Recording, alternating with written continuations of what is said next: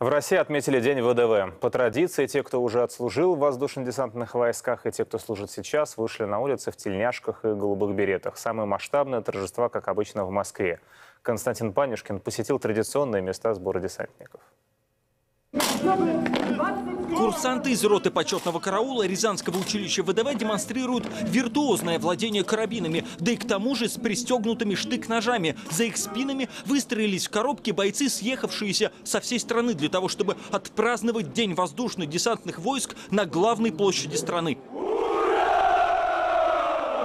В тактической экипировке «Ратник» десантники из Костромы. Рядом бойцы из Тулы, Кубинки, Нарафаминска. Порой не просто контрактники, боевые офицеры и даже герои России. Всех с праздником. Пожелать всем мирного неба, семейного счастья, здоровья крепкого. Остальное все будет. Наряду с войсковой элитой на Красной площади чеканили шаг совсем еще школьники, ребята из военно-патриотических клубов. Поздравляю. Спасибо. России спецназа. Ты тоже будешь Родину защищать? Молодец. Так точно. Первой наградой. Служу России спецназа. А вот молодежь в форме, сшитой по лекалам десантной экипировки 30-го года, с которого и началась история ВДВ. Ребята, несмотря на свой юный возраст, все имеют парашютные прыжки. Даже вот видите, Марья Юрьевна, ей 7 лет, а значочек у нее висит не для мебели совершенно, а только потому, что она уже прыгала с парашютом. Увидеть парад на Красную площадь пришли сотни зрителей. Среди них, конечно, и отставные десантники завидуют, глядя на подрастающее поколение. У них ведь служба еще впереди. Это самое лучшее время в жизни. Это настоящая дружба, которую нужно ценить, которой ребята всегда рядом. Так уж исторически сложилось, что День ВДВ по дате совпадает с важным православным праздником – Ильиным днем. Пророк Илья – небесный покровитель воздушно-десантных войск. Десантники и церковнослужители уже по многолетней традиции начинают свой день 2 августа совместного богослужения и крестного хода по Ильинке к лобному месту.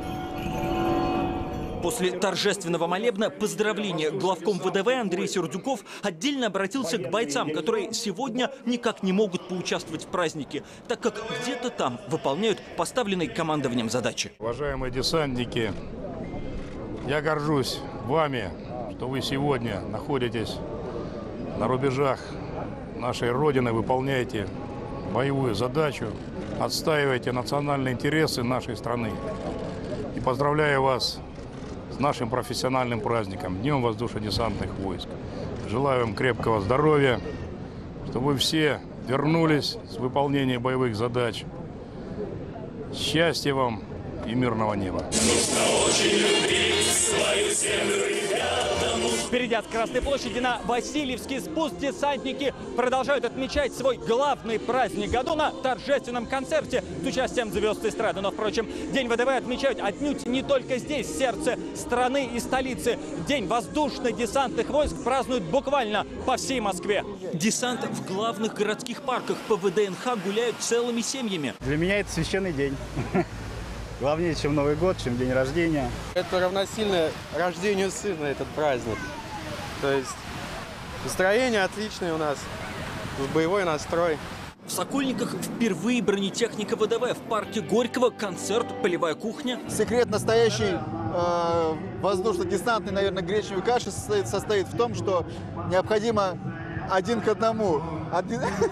Тушенка с гречкой, да, это вот самая настоящая гречневая каша. Да, ну и, конечно, в распоряжении десантников сегодня все фонтаны Москвы. Да что уж, водоемы по всей России. Впрочем, эта традиция Дня ВДВ есть и гораздо более эффектные альтернативы. В Екатеринбурге бойцы в честь праздника в прямом смысле десантировались в центр города, а в Рязани на городском стадионе перед несколькими тысячами зрителей градом условного свинца бойцы спецназа ВДВ уничтожили условных врагов.